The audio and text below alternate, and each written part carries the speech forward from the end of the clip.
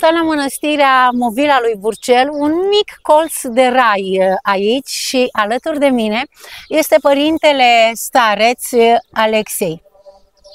Bine ați venit la noi, mă bucur și mulțumesc lui Dumnezeu că vă aflați în locul acesta minunat. Sunt numit stareț de pe data de 19 iunie 2021 de preasfințitul Ignatie al Ușilor, cu binecuvântarea și rugăciunile Lui. Îi mulțumesc pentru încrederea și darul Lui. Locul acesta minunat care în câțiva ani s-a transformat și cu darul lui Dumnezeu, pe zi ce trece, din ce în ce se transformă ca o floare și ca o grădină a raiului. Părinte Stareț, se spune că omul sfințește locul. Da. Cum uh, ați găsit când ați venit aici la mănăstire și cum arată acest uh, loc uh, astăzi, când practic numai cât te uiți în jur, ți se umple sufletul așa de, de bucurie? La început când am venit, fiind delegat de la Mănăstirea Bujoreni, să vin aici ca părinte stareț, era mai trist, era mai ca o grădină cum ar fi neîngrijită, dar cu ajutorul lui Dumnezeu și a fraților, a părinților, că fără ei nu puteam să fac nimica. Încet, încet, locul acesta a luat, a luat frumusețe și a luat mare binecuvântare de la Dumnezeu, pe zi ce trece. Chiar mă uitam și la credincioșii din prejur, din comunele apropiate, din Codăiești, din Micrești, din toate din, din prejurul nostru, spuneau și se minunau ce fel s-a transformat locul acesta în timp foarte scurt. Și mulțumesc lui Dumnezeu și Maicii Domnului pentru că ne-a binecuvântat și ne-a dus în acest loc. Eu simt acest loc binecuvântat de Dumnezeu, mai ales prin însemnătatea lui, prin darul lui Dumnezeu și locul lui istoric și minunile care sunt aici, că este ca un fel de diamant care n-a fost șlefuit.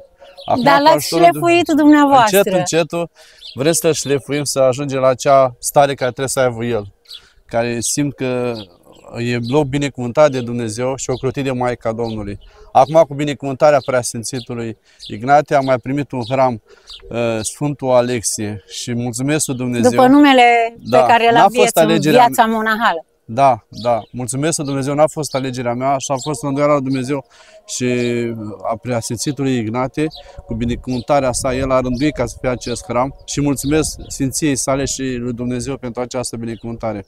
Mulțumesc credincioșilor care vin pe zi ce trece din ce în ce mai mulți și în primul rând fraților, că împreună dacă n-am fi ca o familie și a ne înțelege și a face lucrul acesta să-l transform, nu am putea să facem nimic aici. Câți viețuitori sunt uh, în această mănăstire? Acum suntem 15 frați. La început am fost uh, 2, 3 am fost la început și acum cu ajutorul Dumnezeu suntem 15. Spuneți-ne, Părinte Sares, ce ați simțit, ce a fost în sufletul dumneavoastră când ați venit prima dată aici?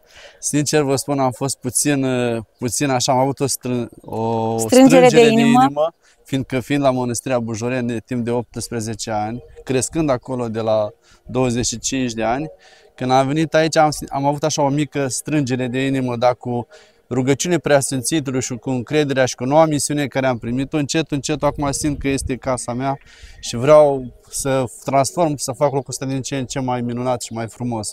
Cu Știu că sunt foarte mulți credincioși care v-au urmat aici, foarte la mulți. această mănăstire. M-au emoționat, mai ales la Haram, la Sfântul Alexia, acum au fost peste o mie de credincioși și m-au emoționat la lacrimi când și preasfințitul, cu binecuvântarea sa la slujba arhierească, au fost cel puțin 200 de copii la împărtășit, dar și foarte mulți credincioși din toată țara, deci din toată țara. Chiar uh, mă minunam așa când vedeam că credincioșii vin din, cum se spune, din toată țara și cu toată inima vin ca să, să arate bucuria lor. De ce credeți că vă caută oamenii, părinte stareț? Nu știu de ce.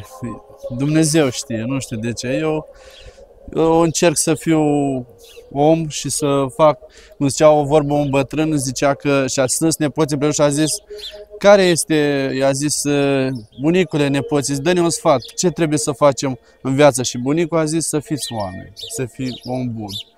Eu așa încerc de fiecare dată, fiindcă fiecare dintre noi și fiecare om, cât ar fi el de păcătos sau de rău, este chipul lui Hristos în el, este chipul lui Dumnezeu în el și el, cu timpul, capătă acea ceață și acea stare a păcatului în care tu, ca duhovnic, trebuie să știi să șlefuiești, să faci din acea piatră care este foarte rea, să o șlefuiești, să o faci diamant, să transformi acel om care vine din starea lui de păcătoșire, să-l aduci la starea de cum este din fiul risipitor, să-l aduci fiul al împăratului al lui Hristos. Fiecare avem pe Hristos în sufletul nostru și fiecare purtăm pe Duhul Sfânt în noi. Cred că am aflat răspunsul Părinte Stareț. Știu de ce vă caută credincioșii, pentru că le șlefuiți sufletele, din ce am tras eu concluzia acum. Spuneți-ne ce vă doriți pentru acest loc? Ce proiecte aveți? Cu ajutorul Dumnezeu ne dăjdim ca în viitor, cu ajutorul Maicii Domnului, în primul rând și a Sfântului Ștefan cel Mare și a Sfântului Alexie, ocrotitorii acestui loc, în primul rând am dorit ca să aducem apa, să avem apa aici, să avem puțul nostru forat aici și încet, încet să mai facem un corp de chilii pentru pelerini, pentru credincioși, pentru Uh, Cei care, care vin doresc la noi să, să stea. nopteze. Fiindcă acum cu binecuvântarea preasfințitului facem în fiecare sâmbătă Sfântul Masă de ora 5 și vin foarte mulți credincioși din țară. Am chiar care vin periodic din Buzău, din Focșani, din Galați, stau la masă și pleacă tocmai că n-au unde să cazăm aici. Cu un copil bolnav, ei cu o problemă sau pentru slujbe vin. Și am așa o fel de strânsare în inimă că n-am unde să țin în seara aceea. Și pleacă noaptea da, la drum. Fiindcă aici sunt aproape 15 camere, 14 camere, câți frați suntem noi, nu avem mai mult uh, cazare ca să oferim. Și asta e dorința mea să, să pot să ofer, cum făcea și Avram, primirea de străini, să am să le ofer acea binecuvântare și bucurie. Părinte Stareț, aș vrea să rostiți un, un gând, un sfat duhovnicesc uh, pentru cei care ne urmăresc.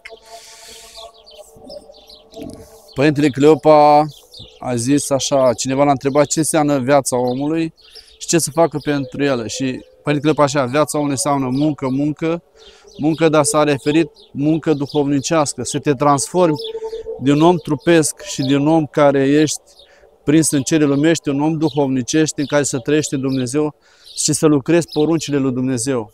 Asta este cel mai important, dar asta înseamnă în timp, în timp. Și să în fiecare clipă și în tot timpul să te rogi lui Dumnezeu, oriunde fii, și acasă, și în mașină, și în pat, și la masă, oriunde să fii, totdeauna cu Dumnezeu în rugăciune, în gură, să-L ai mereu pe Dumnezeu, să te rogi la Dumnezeu mereu. Așadar, dacă treceți prin zonă, nu evitați acest loc, această mănăstire, Movila lui Burcel, pentru că, pur și simplu, dintr-o dată, vă puteți încărca sufletul cu bucurie, cu spiritualitate și credință.